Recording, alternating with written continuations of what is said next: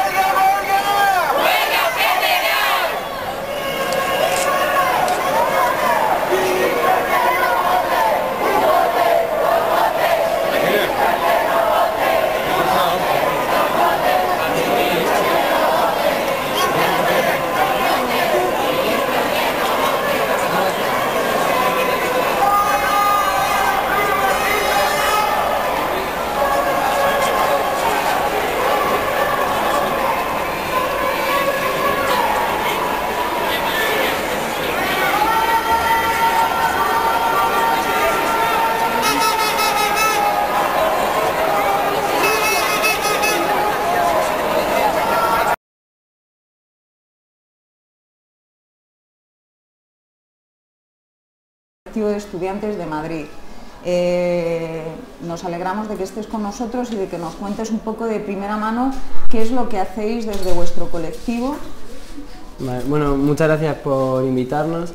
Eh, yo quería más que nada eh, introducir un poco lo que es el colectivo Estudiantes de Madrid, que es, una, es un proyecto absolutamente nuevo, o sea, de hecho lo lanzamos ayer desde las redes sociales y tal para que la gente lo conociera.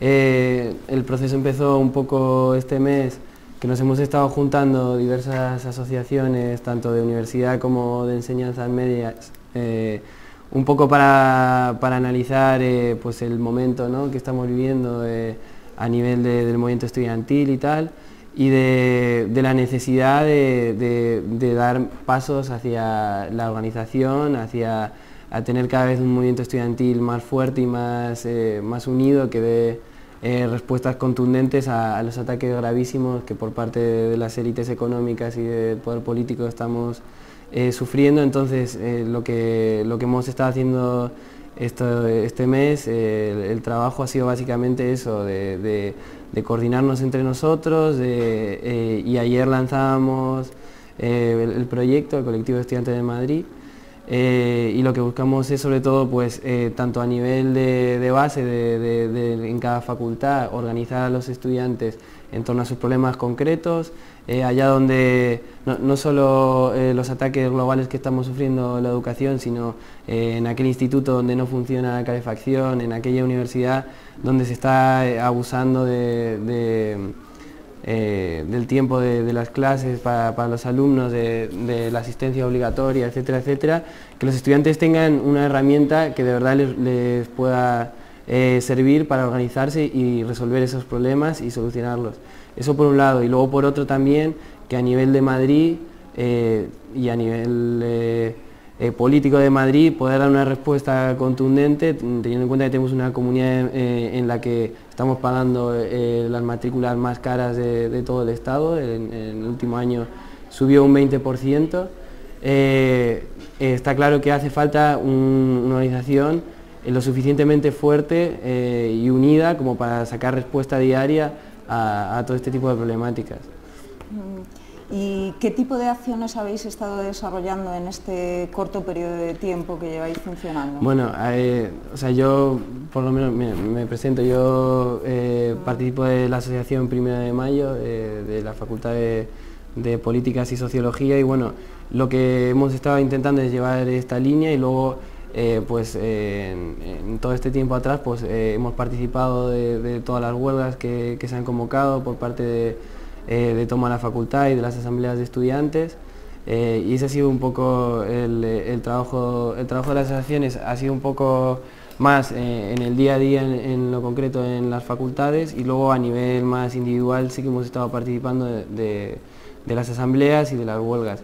Y también un poco la idea del colectivo de estudiantes es eh, tener capacidad para, hacer mucho más trabajo Que, no solo las huelgas, porque nosotros analizábamos hace poco que, que, el, trabajo que sacábamos sobre todo era eso, era eh, muchas huelgas y, poco trabajo concreto a nivel regional y tal. Y entonces es un poco lo que nos hemos planteado de, sobre todo reforzar las asociaciones y en que cada facultad haya cientos de personas organizadas para que cada vez seamos más y cada vez podamos dar mejores respuestas. ¿Cuáles crees que pueden ser las peores consecuencias de la reciente aprobada Ley 11 o Ley WERD? Bueno, la Ley 11 eh, lo, que viene a hacer es un poco en la misma línea de, todas las reformas educativas por parte del PSOE y del PP, de intentar segregar y elitizar la educación para tener por un lado una escuela de élites, eh, lo vemos a nivel de institutos pero también a nivel de, universidad, donde los hijos de las élites puedan recibir eh, la educación que, ellos desean, pagándose eh, másteres carísimos y tal, en, los famosos campus de excelencia, y por otro lado una universidad absolutamente masificada y empobrecida, donde lo que vamos a sacar, por una universidad y, unos institutos, eh, donde lo que vamos a sacar son eh, estudiantes que, lo que van a ir es un mercado de trabajo absolutamente precarizado eh, un poco lo que nos están destinando es al exilio económico y al trabajo más precario y al paro. en institutos lo que vemos con las reválidas es un proceso absolutamente que recuerda un poco a, la época de Franco, de, de segregar hasta el máximo nivel eh, por razones de, clase, a, la gente que menos dinero tenga eh, es al final la que más se queda fuera porque el instituto eh, lo que hace no es resolver los problemas de la gente que, tiene problemas, sino separar quiénes son los que van a, poder llegar a la universidad y quiénes son los que se van a, ir quedando fuera. yo creo que por ahí va, el tema y, hay que entender que no es un, no es un problema solo de educación, que es un problema global de, todo el país, eh, de que hemos decidido, bueno, no hemos decidido, las élites económicas han decidido que vamos a tener un país con un paro estructural que ahora mismo está en 6 millones de, trabajadores que no pueden trabajar, con una precariedad laboral eh, aberrante, de, que la gente mm, tiene miedo a perder el trabajo, tiene eh, unas condiciones lamentables y que todas las medidas que vamos a hacer es para favorecer que que, ese sistema siga funcionando, eh, el despido vez más barato, la universidad y los institutos adecuados a esa realidad, en vez de buscar cómo podemos hacer para tener una sociedad mejor, una educación y una sanidad eh, que resuelvan los problemas de, la gente y un, país que realmente eh, valga la pena vivir, porque yo creo que hoy en día tenemos un país en el que la vida de las grandes mayorías, absolutamente empobrecidas, no, no, no es la vida digna que, se merece la gente. Mm. Y bueno, otro de los temas polémicos dentro de la aprobación, sobre todo para, lo que es el mundo universitario, ha sido el, tema de las becas Erasmus. Eh, ¿Qué opinas o qué opinión os merece desde vuestro colectivo? Eh, ¿Cómo se está abordando el tema de las becas Erasmus? Bueno, es, eh, la verdad es que es casi, dan ganas de reír, ¿no? Por no llorar O sea, cuando se, implementó el plan Boloña, que era este plan porque eh, en base a decirnos que, bueno, que el modelo de universidad que teníamos estaba anticuado y tal, y que iban a hacer unas cosas muy modernas, muy europeas, de movilidad y de no sé qué, eh, con esa excusa lo que hicieron fue desmantelar absolutamente la universidad pública y ahora nos enteramos que, que, ni siquiera era verdad eh, el discurso este de que iba a haber más Europa, de que iba a haber más movilidad, todo lo contrario. Eh, hoy en día una beca Erasmus es prácticamente que te convaliden las asignaturas porque el dinero es mínimo y eh, hasta hace, hace nada ver directamente las quería eliminar para los estudiantes que ya estuvieran fuera y, sabemos que estamos ante el peligro de que el año que viene ni siquiera exista la, beca. Entonces uno se pregunta, primero reflexiona qué, tontos pudimos ser, ¿no? de, la gente que, se creyó el discurso de Europa y, qué tontos seremos si seguimos dejando que, esta gente nos siga gobernando en base a mentiras. Mm. Eh, bueno, es un poco.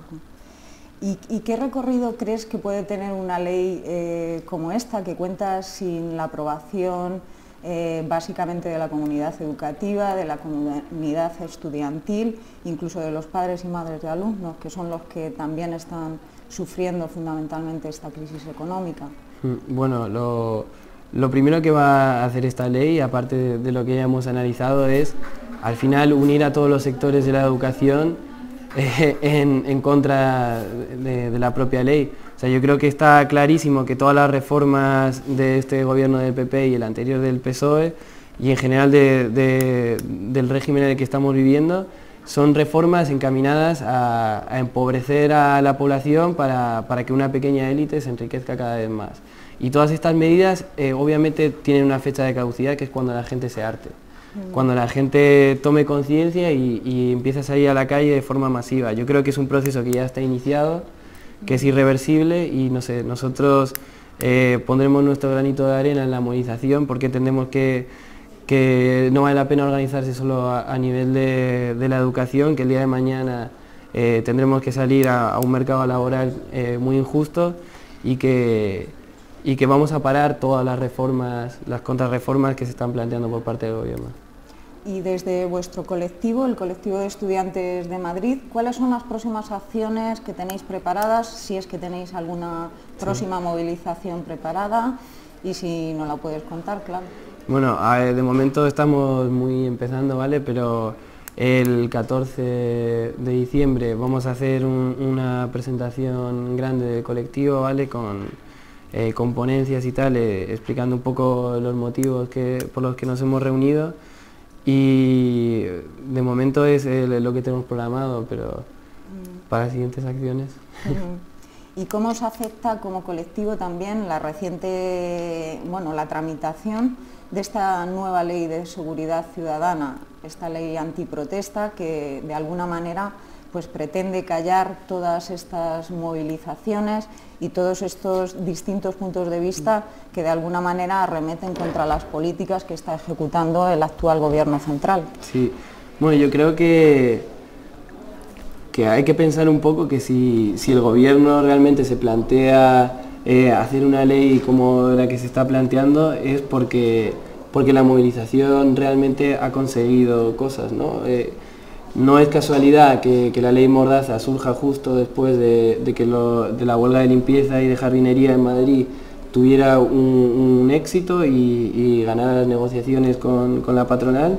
No es casualidad que justo después de eso, de demostrar que realmente las huelgas sirven, que la movilización sirve, que organizarse es la única forma que tienen los trabajadores para, conseguir revertir la situación a la que nos están llevando el, gobierno y las élites económicas, eh, en ese momento el gobierno saca una ley que básicamente lo que nos viene a decir es que está, que está prohibido todo, ¿no? Y un poco se saca esa careta que, que, nos dan de, bueno, este país es democrático, tú si quieres algo, pues puedes votar un partido político, eh, no, los cauces son los que, los que el gobierno quiere, ¿no?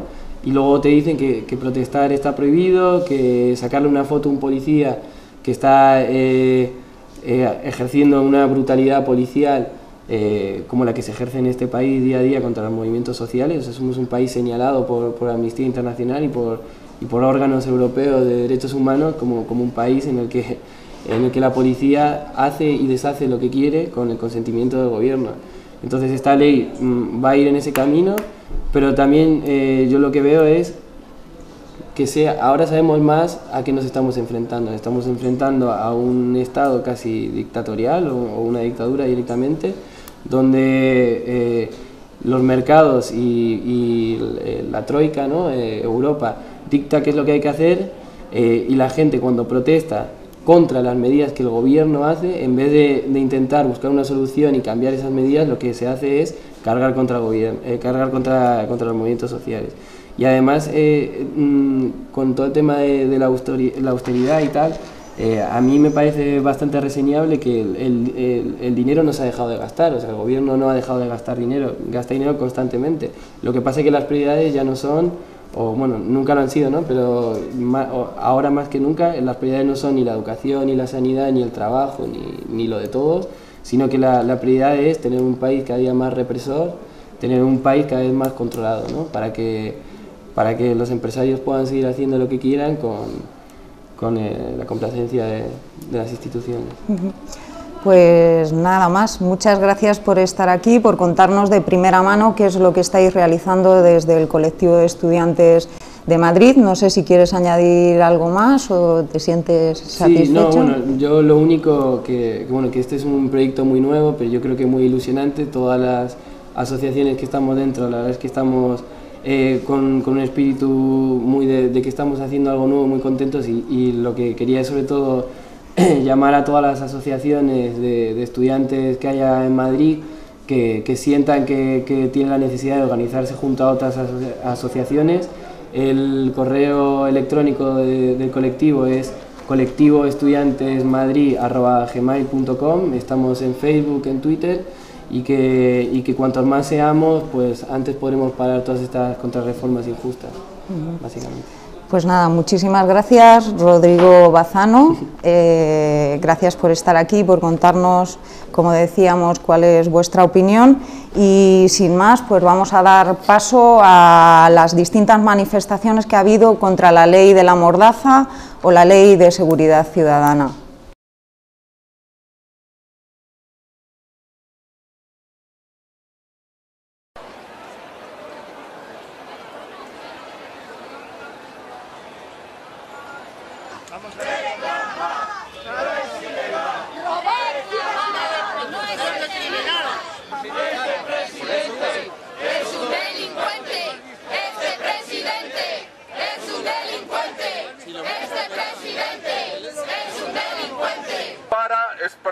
nuestra repulsa y nuestro rechazo a las medidas políticas que este gobierno, muy particularmente en la forma de la nueva ley de seguridad ciudadana que han aprobado hoy en Consejo de Ministros.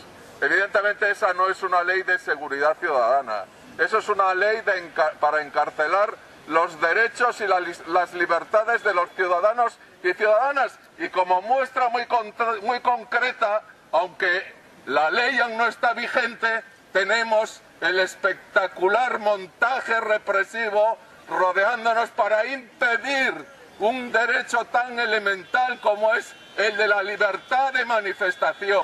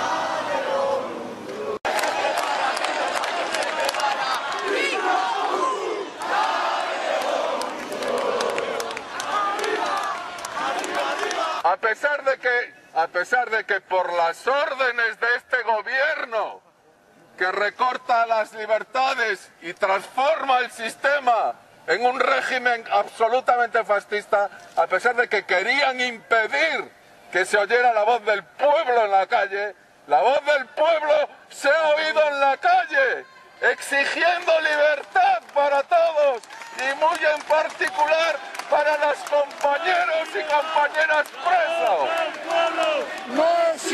El, motivo de esta movilización ha sido expresar nuestro, tiene digamos dos, fundamentalmente dos objetivos, expresar nuestro rechazo a la ley, al proyecto de ley que ha aprobado el gobierno llamada de seguridad ciudadana, que evidentemente es una ley para amordazar a la opinión pública y para dar un paso más en lo que es el proceso de fasticización del Estado y de recorte de libertades y por otra parte para expresar nuestro rechazo a las detenciones que ha habido en la madrugada de ayer y ayer por la tarde. Para ambas cosas. ¿Están relacionadas ambas cosas? Por supuesto, no cabe ninguna duda. Está claro que, está, es evidente, ¿no? Eso es como, como las infecciones y la fiebre, ¿no? Digamos, el, despliegue represivo hoy, el intento de impedir el ejercicio de nuestras libertades es, digamos, la, como la fiebre a las infecciones, que es, digamos, todo el proceso absolutamente de involución democrática que está sufriendo el régimen.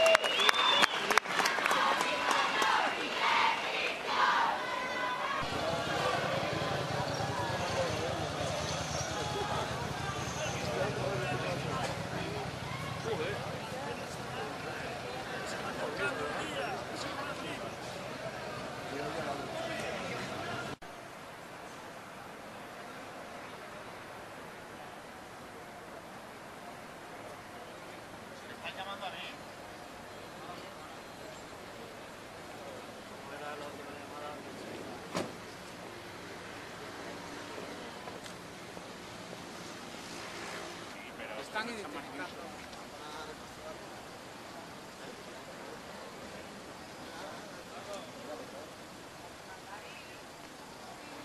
Participación en concentración.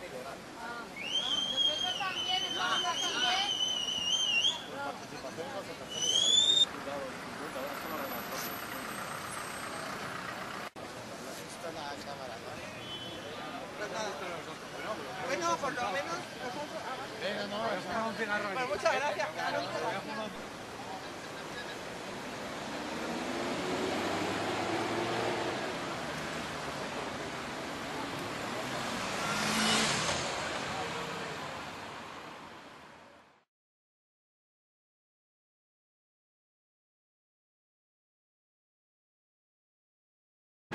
Yo sí recuerdo 70 años de amargura.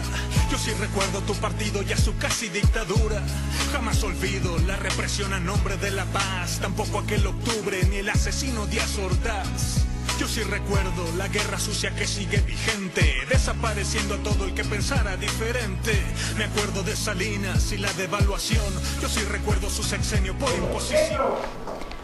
Vamos a ver a continuación las imágenes de la manifestación desarrollada en Moratalaz eh, debido a las 19 detenciones que, se han producido por el asalto el pasado 20N en la Universidad Complutense de Madrid. Eh, se les imputan tanto lesiones, daños y delitos contra los derechos fundamentales y las libertades. A continuación podéis ver las imágenes.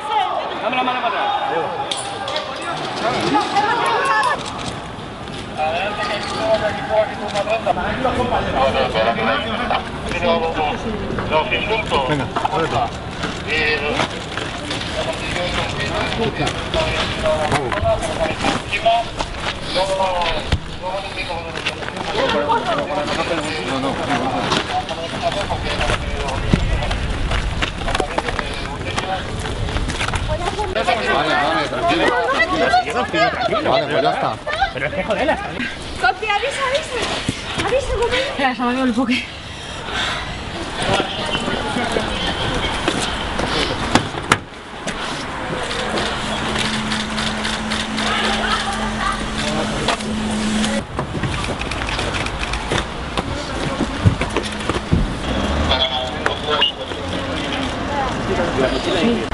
Ven cómo ver, que va. ¿De quién es este coche? De puente, creo. ¡Compi! Era 141, ¿no? ¿Es vuestro? Sí. ¿La apuntáis?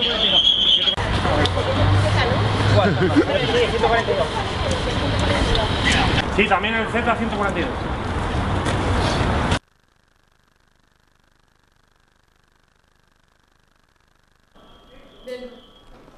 El pasado sábado también eh, contamos con la movilización en contra de la privatización del ferrocarril eh, que transcurrió desde Chamartín a nuevos ministerios y en la que se reivindicaron de alguna manera pues, eh, el derecho a un ferrocarril público y se recogieron las distintas propuestas que se hicieron principalmente desde la organización sindical CN, eh, CGT.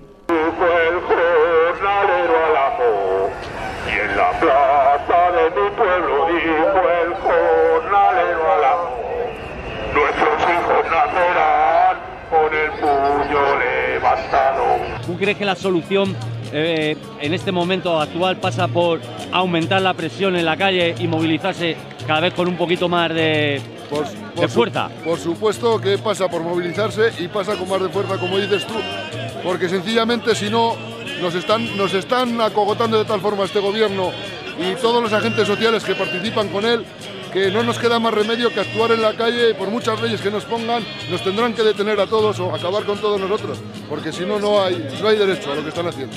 Y, y como CGT estaremos en la calle. Las reivindicaciones eh, tienen que salir más a la calle, es decir, el nivel de protesta hay que aumentarlo o como Por pretende el gobierno. No, no, si es que nos están echando gasolina. Están echando gasolina. Están echando gasolina a la gente para que salgamos a la calle. No nos van a dejar entrar en casa. Esto que están haciendo tiene que tener una contestación continuada, continuada, aunque no sea muy fuerte. Lo más triste de todo es que no sabemos dónde están comisiones y UGT, si en los despachos o en la calle. No lo sabemos dónde están los sindicatos. Y luego cuando se oyen cosas como las de Andalucía, pues al final los sindicalistas de verdad sufrimos, porque eso salpica a todos, no solo a ellos. Es muy triste. Es muy triste que el sindicalismo se haya convertido en una élite, porque en realidad los derechos de los trabajadores hay sitios donde ni los sindicatos los podemos defender hoy en día. Estos van a hacer bueno a Nerón. Hola, estamos aquí para defender los servicios públicos ferroviarios y los empleos. Desde hace seis meses, el gobierno español había decidido, decidido el desmantelamiento de los servicios públicos ferroviarios. Buenos días a todas y a todos. Un fraternal saludo en nombre del sindicato ferroviario para esta marea naranja, esta marea de ferroviarios y ferroviarias y de ciudadanos y de ciudadanas que hemos venido hoy a defender el ferrocarril público y social que nos quieren robar el gobierno del Partido Popular. Ya sabéis que hace tiempo que venimos denunciando que este gobierno está intentando y desgraciadamente consiguiendo hacer pagar la crisis a quienes no la hemos provocado, a las trabajadoras y a los trabajadores, al conjunto de la clase trabajadora, mientras el resto, los especuladores, los banqueros, se hinchan a manos llenas a nuestra costa nuevamente. El ferrocarril no iba a ser ajeno a estas políticas. Sabéis lo que está pasando con la educación, lo que está pasando con la sanidad, lo que está pasando con todos los servicios públicos y también con nuestro ferrocarril público. Con el ferrocarril que hemos construido, con los impuestos de los ciudadanos y las ciudadanas y con el sudor de la frente de las ferroviarias y de los ferroviarios. También el pasado sábado en el barrio de Carabanchel, CNT se manifestó bajo el lema eh, Trabajar menos para trabajar todas, en el que cientos de, personas se movilizaron eh, a través del barrio, no solo con esta manifestación, sino con distintas charlas que están ofreciendo a través de los distintos barrios. A continuación podéis ver las imágenes. ¡No son obreros! ¡Escucha! La lucha está en los tajos y no en los comités. La lucha está en los tajos y no en los comités. ¡La lucha sigue! Sí, que estaba con Agustín haciendo un añaco por el centro de Madrid. Por eso de todo. ¡Unión! ¡Acción!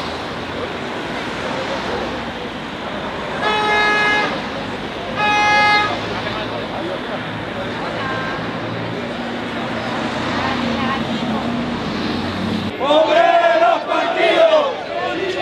¡La lucha! ¡Obreros partidos! ¡Sin subvenciones! ¡Terrorismo patronal! ¡Terrorismo patronal! ¡Son asesinatos!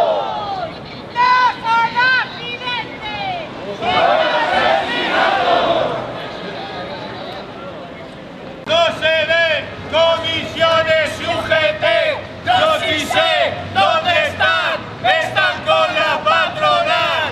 ¿Dónde están? No se ven comisiones UGT.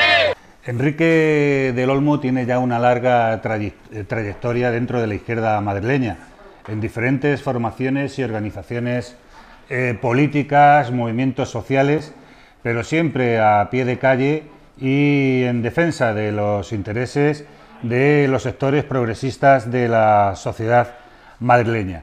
Recientemente ha sorprendido con la presentación de su candidatura a unas elecciones primarias que tendrían que celebrarse en el seno del Partido Socialista para elegir su candidato a la alcaldía de Madrid. Bueno, es un viejo amigo, o antiguo amigo, para ser más exactos, Antiguo antiguo amigo y veterano. y veterano compañero de muchas lides y bienvenido aquí a Teleca. Bueno, él también es socio aquí de, de, de Teleca, o sea que ah, bien- bienvenido a tu casa. Bueno, Enrique, coméntanos esta, esta, este salto ¿no? eh, que has dado presentándote a la, a, la candidatura, ¿no? a las elecciones primarias para el ayuntamiento. Bueno, la presentación de la candidatura es un poco una respuesta a la situación de inmovilismo que mucha gente detectábamos en el conjunto de la izquierda y particularmente dentro del Partido Socialista en relación a una batalla que hay que dar y que todos creo que compartimos, que es que Madrid no puede seguir en manos de la derecha ni un año más. Este año todavía no hay elecciones, pero en las primeras elecciones democráticas que haya tenemos que configurar una fuerza política y social capaz de cambiar la ciudad y como tal de cambiar el gobierno de la ciudad. Y esa es la razón por la cual yo me he presentado mucho antes, incluso de que esté reglamentado el sistema de primarias, entre otras cosas porque también en este proceso quiero defender un modelo de primarias abierto a la ciudadanía, con participación de los ciudadanos en la definición de las políticas y también de los candidatos. Y en ese sentido consideramos yo y un grupo de amigos que era el momento de salir, de presentarse, de empezar a hablar con mucha gente, de agrupar a gente, de hablar, hablar también con todo el espectro político y social de la izquierda, es decir, es todo lo contrario de una candidatura que se mira al ombligo, que se mira solamente de puertas hacia adentro. Yo creo que la ciudadanía demanda en estos momentos eh, un referente más amplio, más global y debe ser construido también globalmente. Bueno, parece que hay algún problema de, sonido en el micrófono de Enrique, pero mientras vamos a seguir hablando. Decía que esta candidatura había sorprendido, ¿no? Porque pocos esperaban, ¿no? De que tan temprano, eh, como decía Enrique, sin estar reglamentado todo ese proceso, pues alguien diera ese paso adelante para reactivar un poco, mover, como diría alguno, el manzano, ¿no? De la política en Madrid y ha sido Enrique. Bueno, pero este tipo de pasos eh, normalmente no se dan solos. ¿Quién está detrás tuyo, Enrique? Esa es la pregunta que todo el mundo me hace. yo no podía ser menos. Hombre, desde luego, como todo periodista avanzado.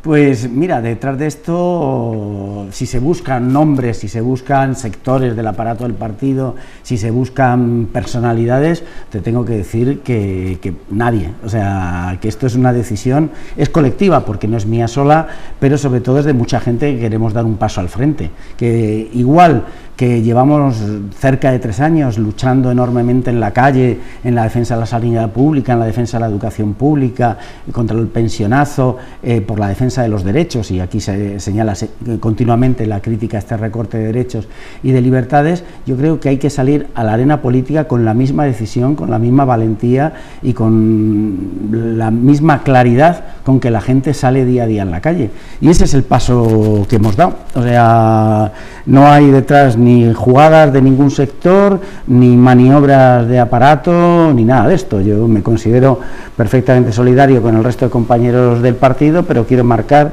una forma de hacer, una forma de plantear eh, que yo creo que es extraordinariamente beneficiosa para el socialismo madrileño. Bueno, sabes que en Italia se han hecho recientemente, se hicieron unas elecciones primarias abiertas donde los ciudadanos con el solo el mero hecho de poner un euro a través de Internet, podían votar en las elecciones del llamado centro izquierda italiano. ¿Tú eh, crees que ese tipo de, elecciones primarias eh, eh, se pueden dar en el seno del Partido Socialista o, serán solo restringidas a los afiliados? Yo creo que, que el reto es hacerlo como se ha hecho en Italia y en Francia. Yo creo que en Francia, daros cuenta, el Partido Socialista tenía 500.000 afiliados, votaron 2 millones y medio de personas.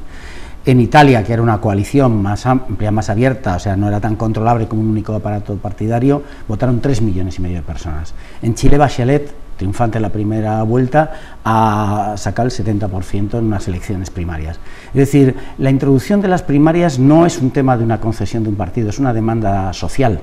Y en ese sentido, si el Partido Socialista quiere adecuarse a los nuevos tiempos y a lo que plantea la sociedad, tiene que abrirse plenamente, sin recortes, sin restricciones, sin trabas.